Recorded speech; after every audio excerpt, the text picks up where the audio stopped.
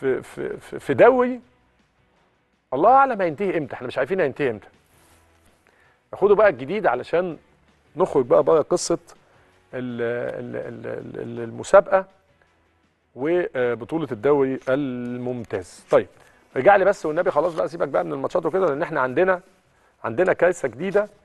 وأتمنى أتمنى إن الناس في اتحاد الكورة لو نعرف نجيب حد من أعضاء مجلس اتحاد الكورة عشان يرد على الكلام اللي إحنا هنقوله ده يبقى يا ريت يعني فريق الأعداد حسام لو تشوف لنا حد بس إيه يتواصل نتواصل معاه بالنسبة ل آه، الكارثة الجديدة اللي بتهدد آه، الاتحاد المصري لكرة القدم والأندية كمان المشاركة في بطولة أفريقيا. طيب تحذير من فيفا.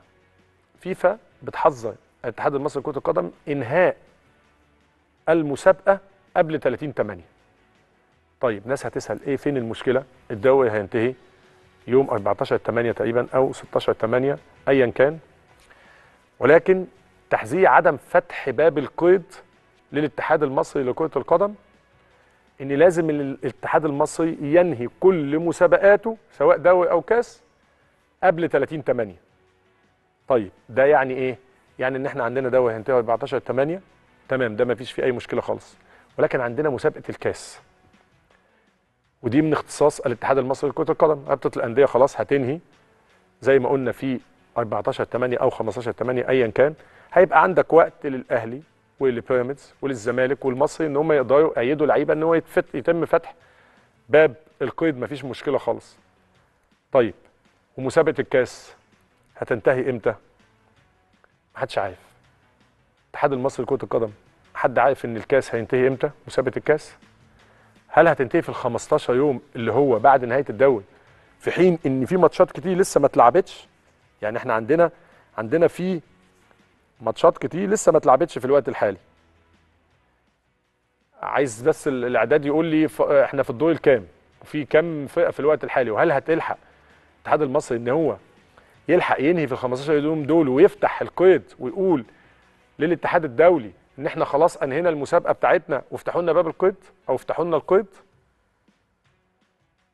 طيب الناس آه، يا ريت كده ال- ال- ال- اللي موجودين بيديروا آه، في الاتحاد المصري لكرة القدم حد بس يعني يعني ياخد باله بس. يعني خدوا بالكم علشان ما تتفاجئوش.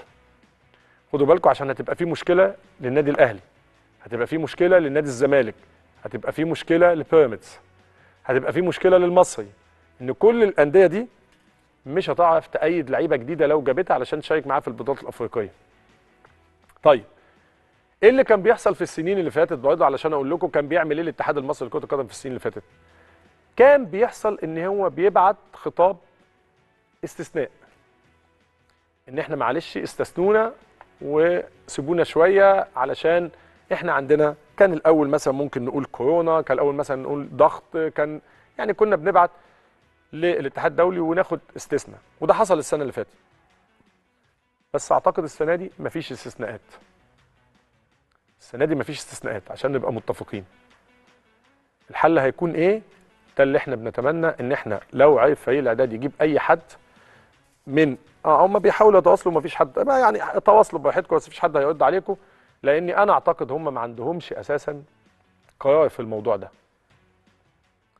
فانا ما أعرفش إيه اللي هيتم آه، ولكن اهو إحنا بننوه وبندي جرس انذار بنقول للناس اهو خلي بالكم طيب إيه اللي هيتم؟ هل هيتم إلغاء الكاس؟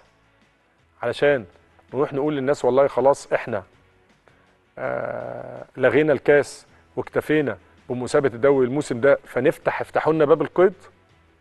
طيب ده كمان جرس انذار وإحنا بنقوله لنادي الأهلي ونادي الزمالك وبيراميدز والمصري. ابدأوا شوفوا مع اتحاد الكورة هتعملوا إيه. مش هيتفتح القيد. القيد مش هيتفتح إلا لما المسابقات تنتهي. فابدأوا تخاطبوا الاتحاد قولوا لهم هتعملوا إيه. علشان نفتح باب القيد علشان نقدر نأيد لعيبة علشان نقدر نجيب لعيبة ونبدأ إن إحنا نأيدها. لأن مش هيفتح باب القيد إلا مع انتهاء المسابقات. طب في حالة الإعلان عن إلغاء الكاس. مين اللي هيتحمل المشاكل؟ وطبعا إحنا بنتكلم على مباريات وشركات راعية و... وماتشات مباعة. والمفروض ان ان ان مسابقة مهمة. ف... مين اللي هيحاسب على كل ده؟ يعني مين اللي هيحاسب على المسألة دي؟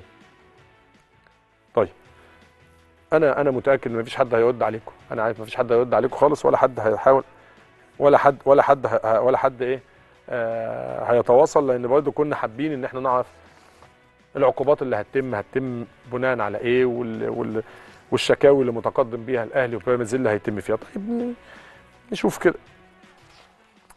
تمام. يعني